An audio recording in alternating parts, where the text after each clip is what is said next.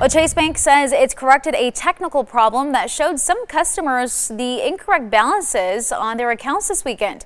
The company says a glitch delayed updates to what customers saw on the website and also on the mobile app. Chase now saying that the issue is fixed.